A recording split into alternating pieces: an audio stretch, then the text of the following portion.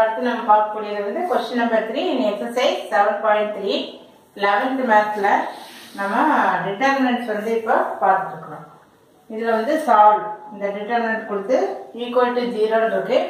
Solve தீர்க்க அப்படின்னா நம்ம எஸ்ஸின் மதிப்பு கண்டுபிடிக்கணும். எக்ஸோட மதிப்பை கண்டுபிடிக்கணும். இதை நம்ம என்ன பண்ணிக்கலாம்னா இங்கே S plus A X plus B X plus C இருக்கு. நம்ம first put x equal to zero X equal to zero எங்க? அப்படின்னு சொல்லி வச்சுக்கணும் அப்போ இந்த இடத்துல ஜீரோன்னு சொல்லிட்டீங்கன்னா இங்க ஜீரோ அப்படிங்கிறப்ப மிச்சம் என்ன இருக்கும்? ஏ இருக்கும். பி சி ஏ எக்ஸுக்கு ஜீரோ அப்படிங்கிறப்போ தென் பிசி தென் எங்கே ஏபிசி இதில் பார்த்தோம்னா ஆர் ஒன் சர்வசமம் ஆர் டூ சர்வசமம் ஆர் த்ரீ ஸோ மூன்று நிரல் நிறை மூன்று நிறைகளும் சமம். சர்வ சமம் மூன்று நிறைகளும் சர்வ சமம் இந்த மாதிரி மூன்று நிறைகள் மூன்று த்ரீ ரோஸ் வந்து சர்வசமமா இருக்கும் அப்படின்னா நம்ம எக்ஸ் மைனஸ் இங்க என்ன போட்டோம் ஜீ ஜீரோன்னு போட்டோமா? ஹோல் ஸ்கொயர்னு வரும். ஏன்னா அந்த மூணுமே சர்வசமம் அப்படின்னு வர்றப்போ ஸ்கொயர் வந்து இந்த இடத்துல நம்ம போடணும். Whole square is a factor இது என்பது ஒரு காரணி. இது வந்து ஒரு காரணி. ஸோ எஸ் மைனஸ் ஹோல் ஸ்கொயர்னு என்ன? This is nothing but X square X square is a factor that is X square என்பது ஒரு காரணி. இது நம்ம இப்போ கண்டுபிடிச்சோம் அடுத்தது மறுபடியும் காரணி நம்ம கண்டுபிடிக்கணும். அதுக்கு என்ன பண்ணிக்கலாம்னா இது வந்து ஸ்டெப் ஒன் அடுத்தது ஸ்டெப் டூவில் put x equal to minus A minus B minus C X அப்படிங்கிற இடத்துல minus A minus B minus C அப்படின்னு சொல்லி நம்ம இப்போ பிரதியிட போகிறோம் அப்ப நம்ம இந்த இடத்துல என்ன எழுதிக்கலாம்? So that is equal to X அப்படிங்கிற இடத்துல நமக்கு என்ன எழுதணும்? Minus A minus B minus C இந்த பிசியை வந்து ரைட் ஆசிட்டிஸ் இந்த இடத்துல ஏ அப்போ இங்கே minus A minus B then minus C already அங்கே என்ன இருக்கு? ஒரு பி இருக்கு. இந்த சி நல்லா கொஞ்சம் தள்ளி எடுத்துக்க. அப்புறம் இந்த இடத்துல சி தென் இங்கே ஏ பி எக்ஸுக்கு பதில் என்ன இருக்கிறோம் minus A minus B minus C அதெல்லாம் இங்கே என்ன இருக்கு? ப்ளஸ் சி அப்படின்னு சொல்லி எழுதிக்கிறோம். ஸோ அந்த இஸ் ஈக்குவல் இங்கே இப்போ என்ன பண்ணிக்கலாம்னா ஆல்ரெடி இங்க ஒரு ஏ இருக்கு இல்லையா? அதை நான் எழுத மறந்துட்டேன். இங்கே இந்த இடத்துல வந்து ஒரு ஏ எழுதணும். அதே மாதிரி இங்கே ஒரு பி இருக்கு அது இருக்கிற சி இருக்கு. இந்த ஏ மட்டும் நான் எழுத மறந்துட்டேன். ஸோ அதை நான் இப்போ இந்த இடத்துல எழுதிட்டேன். இப்போ ப்ளஸ் ஏ மைனஸ் என்ன ஆயிடுச்சு? கேன்சல் ஆயிடுச்சு. மிச்சம் இருக்கிறது B minus C then B C then A இதில் plus B minus B cancel so மீதி இருக்கிறது ஏ விச் ஒன் இதில் மைனஸ் போடுறது இல்லையா? தென் சி இங்கே A B then plus C minus C cancel so minus A minus B அப்படின்னு சொல்லி எழுதிட்டோம். இப்போ என்ன பண்ணிக்கலாம்னா இந்த பியும் சியும் இதோட ஆட் பண்ணோம்னா நமக்கு ஜீரோ கிடைக்கும்.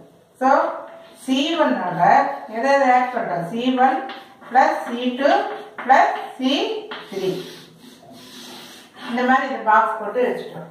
இப்போ இந்த காலம் ஒன்னோட இந்த ரெண்டையும் எடுத்து நம்ம இப்போ ஆட் பண்ண போகிறோம் அதாவது இது நிரல்.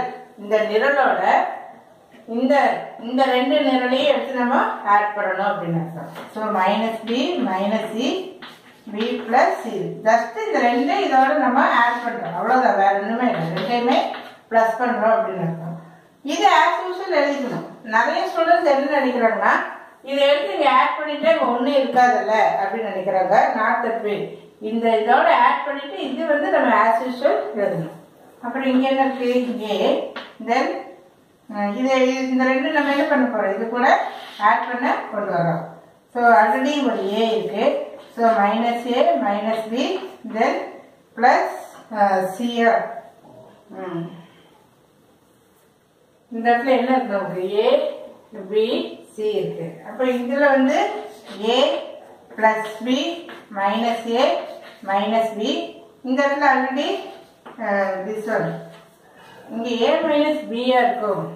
ஏதோ சம் மிஸ்டேக் சி இருக்கு இல்லையா? இதான் நான் ஏதோ தப்பாயிடுச்சு இந்த இடத்துல சி அப்போ இங்கேயும் என்ன வரும் நமக்கு? சி தான் வரும். அப்போ தான் கேன்சல் ஆகி நமக்கு ஜீரோ கிடைக்கும்.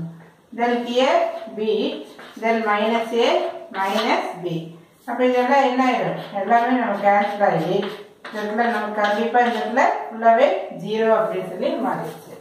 ஸோ இந்த சைடு நம்ம அடிச்சிடலாம் ஸோ இந்த இடத்துல நம்ம இப்போ zero then B C zero minus A minus B இங்கே இருக்கு நான் என்ன எழுதிட்டேன்? சி எதுக்கு? வந்துட்டேன் then zero then B minus A minus B அப்படின்னு சொல்லி எழுதியிருக்கோம். சியா ஸோ இங்கே ஜீரோ இன்ட்டு சம்திங் என்ன ஆயிடும் கம்ப்ளீட்டாக நமக்கு இந்த இடத்துல ஜீரோ அப்படின்னு சொல்லி மாறிடும். அப்போ இப்போ என்ன ஆயிடுச்சு அப்படின்னா இது நம்ம என்ன போட்டோம்? Put X equal to minus of A plus B plus C அதாவது மைனஸை காமன் எடுத்துட்டேன். இப்போ நம்ம இது வந்து இந்த சைடு கொண்டு வந்துட்டு இது வந்து நமக்கு ஈக்குவல் டு ஜீரோ அப்படின்னு வர்றதுனால இது வந்து ஒரு காரணி. இது ஒரு காரணி அப்படின்னு சொல்லி புதுசாக நமக்கு இன்னொரு காரணி வந்து கேட்குது இஸ் a ஃபேக்டர் அப்போ நமக்கு ஏற்கனவே இதில் ஒரு ஃபேக்டர் என்ன கிடைச்சது? எக்ஸ் ஸ்கொயர்னு ஒரு ஃபேக்டர் இருந்துச்சு இல்லையா? இந்த இடத்துல. எக்ஸ் ஸ்கொயர்னு ஒரு ஃபேக்டர் அது இல்லாமல் இது தனியாக ஒரு ஃபேக்டர் தேர்ஃபோர் எக்ஸ் ஸ்கொயர் அது இல்லாமல் ஒரு ஃபேக்டர் நமக்கு என்ன எடுத்துருக்கு X plus A plus B plus C அப்போ மொத்தம் நமக்கு இது இதோட பவர் என்ன? ஒன்று அப்படின்னு அர்த்தம். அப்போ இதனுடைய டிகிரி டிகிரி அப்படிங்கிறப்போ நம்ம என்ன இதனுடைய படி வந்து மூன்று. இங்கே ஆல்ரெடி ஒரு ரெண்டு இங்கே ஒரு ஒன்று இருக்கு. அப்போ there are three factors there are three factors that means இங்க என்ன இருக்கு? நமக்கு எத்தனை காரணிகள் கிடைச்சது? மூன்று காரணிகள். மூன்று காரணிகள். ஏன் அப்படின்னா இங்க ஒரு ரெண்டு இருக்கு. எக்ஸ் எக்ஸ் எக்ஸ் இது நம்ம பிரிச்சு என்ன கிடைக்கணும் எக்ஸ் எக்ஸ் இருக்கு. ஸோ இந்த இந்த இடத்துல ஒன்று ஸோ மூன்று காரணிகள் வந்து நமக்கு கிடைச்சிருக்கு. இப்போ இதனுடைய இந்த சம் வந்து நான் அழிச்சிட்டேன் இந்த சம்ல பார்த்தீங்கன்னா இந்த லீடிங் டயகனல் இந்த இடத்துல என்ன இருக்கு? X plus A X plus B இந்த இடத்துல எக்ஸ் பிளஸ் சி அப்படின்னு இருக்கு. அதாவது லீடிங் டயகனல் அப்படின்னு சொல்லலாம். இது தமிழில் சொல்றப்ப நம்ம லீடிங் டயகனல் சம்மு நான் அழிச்சிட்டேன் அதாவது degree of the leading diagonal is three ஏன்னா இது இது என்னது? ஒன்று இது ஒன்று இது ஒன்று. பெருக்கப்படலாம் நம்ம காமிக்கணும். நான் அப்படியே டைரக்டா எழுதிட்டேன். டிடி டயகனல் டிகிரி வந்து நமக்கு degree of determinant A is three அதாவது என்ன எடுக்கலாம் முதன்மை முதன்மை மூளை விட்டம் இல்லையா? முதன்மை மூளை விட்டத்தில் அந்த பெருக்கல் பலனின் என்ன வரும்?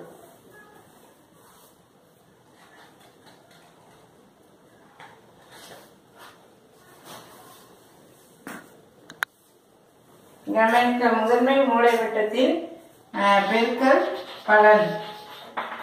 பெருக்கல் பலன் போட்டு அங்க நம்ம என்ன எழுதிக்கிறோம் S plus A X plus B S plus C அப்போ இதனுடைய படி என்ன வருது நமக்கு?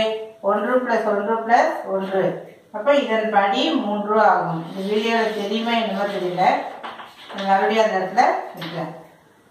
ஸோ இதில் அடுத்தது நமக்கு டிகிரி வந்து மூன்று. இதனுடைய படி வந்து மூன்று அப்படின்னு இருக்கு இது இதுக்கும் நமக்கு மூன்று அப்படின்னு சொல்லி ரெண்டுமே சமமாக உள்ளது.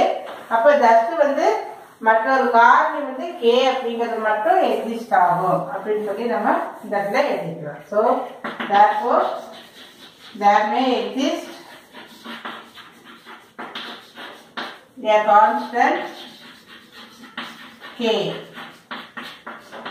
அதாவது மற்றொரு காரணி.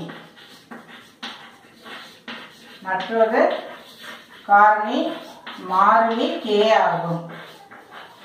மாறிலி கே ஆகும். ஏன்னா இந்த படிகள் வந்து சமமாக இருந்தால் இங்கேயும் மூணு இந்த முதன்மை மூளை விட்டத்தின் பெருக்கற் பலன் கண்டுபிடிச்சு அதனுடைய படி மூன்று அப்படின்னு சமமாக இருந்தால் அதனுடைய மாறிலி கே அப்படின்னு சொல்லி நம்ம எடுத்துக்கிறோம். அந்த அதுக்கப்புறம் நம்ம கேவோட மதிப்பு என்ன அப்படிங்கிறத நம்ம கண்டுபிடிக்கணும். இதை அடிச்சுட்டு அப்படியே தொடர்ச்சியை கொள்ளலாம்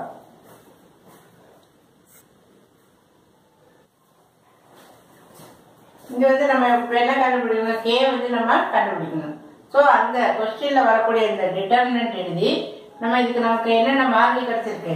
ரெட் ஸ்கொயர் அப்படிங்கிற ஒரு ஃபேக்டர் தென் இது ஒரு ஃபேக்டர் கே என்பது ஒரு மாறிலி. அந்த கே மதிப்பு தான் நம்ம இப்போ கண்டுபிடிக்கணும். அப்போ put X equal to minus A அப்படின்னு சொல்றோம். எக்ஸ் அப்படிங்கிறது பதிலா மைனஸ் ஏ ஜஸ்ட் நம்ம எக்ஸ்பேண்ட் பண்ணுறதுக்காக இந்த இடத்துல மூணு டேர்ம் இருக்கு இல்லையா? இந்த மூணு டேர்ம்ல ஏதாவது ஒன்று ஜீரோன்னு கொண்டு வரணும்.